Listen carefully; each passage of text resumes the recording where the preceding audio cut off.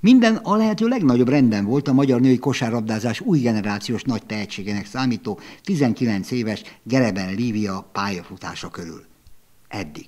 A KSC Szexád egyik motorját, már a nagy válogatott keret tagját, szimpatikus szerénysége, közvetlensége okán imádják a szurkolók. Pár napot pihent a válogatott beli újrakezdésig odahaza, aztán a múlt hét közepén a szülői házban furcsa dolgok történtek lévővel. Olyan, ami azonnali orvosi vizsgálatért kiáltott a délpesti onkológián.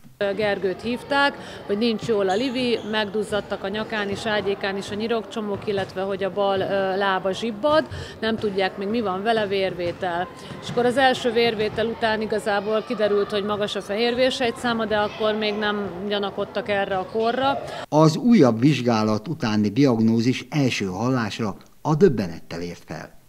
Akut leukémia támadja Livi szervezetét.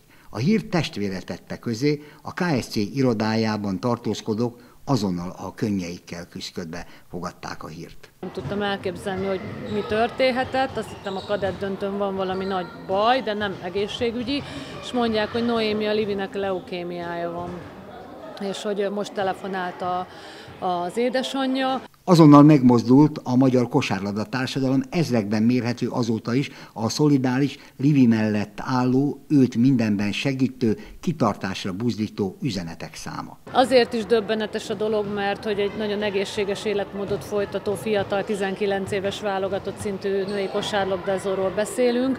Minden vérvétel, amit a klubnál vagy a kórházban végeztek, kitűnő állapotát rögzítette hogy mégis a sors rút arculcsapásaként mekkora baj, azt az eheti újabb vizsgálatok mondhatják majd ki.